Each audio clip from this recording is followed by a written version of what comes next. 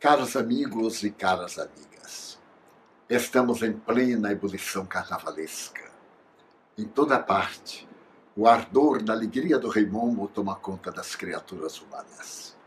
Naturalmente, do ponto de vista ético, trata-se de uma oportunidade de exteriorizar sentimentos abafados, conflitos, necessidades de viver alegria e, naturalmente, com caráter terapêutico uma catarse. Uma catarse generalizada. No entanto, como toda catarse, necessita de uma orientação para que a explosão dos nossos conflitos não nos piore as marcas das próprias manifestações de desequilíbrio. O carnaval tem a sua origem no remoto Egito, quando se celebravam aos deuses, particularmente a Ísis. Posteriormente passa a Grécia, e nós vemos as bacanais. Logo depois vamos vivê-lo em Roma, nas Saturnais. Espraia-se pelo mundo a partir dos bailes de máscara de Veneza. Mas é em Paris que encontra o seu apogeu e da Cidade Luz ele é exportado para o mundo.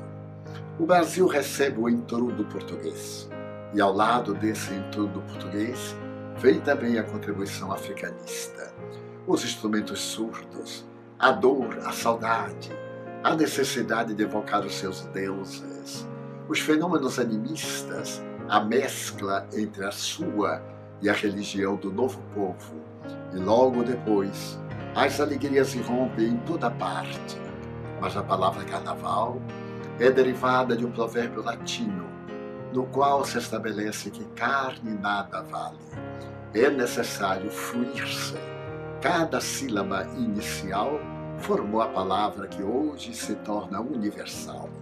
E observamos que em latim seria a oportunidade de comer carne pela última vez, porquanto logo mais viria a quarta-feira de cinzas, o dia do arrependimento, arrependimento hebraico, quando os indivíduos se cobriam de cinzas a fim de purificar-se.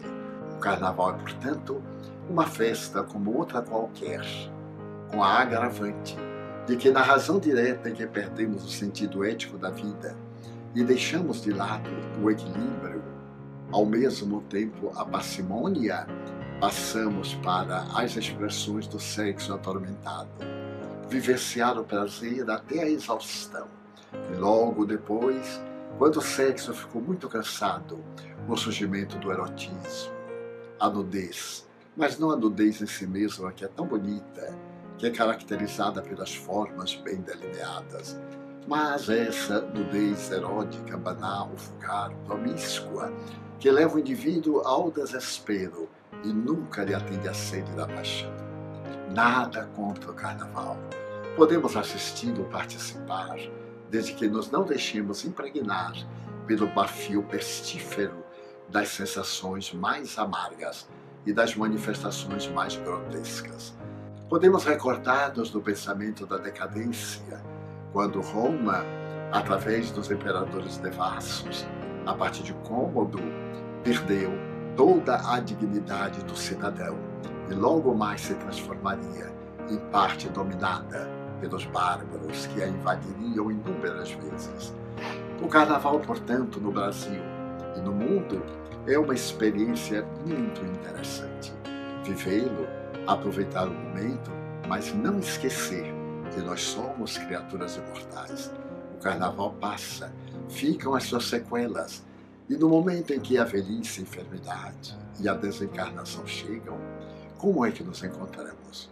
Necessário que o carnaval faça parte do esquema de muitas de nós, mas que não nos embriague a ponto de perdermos a dignidade.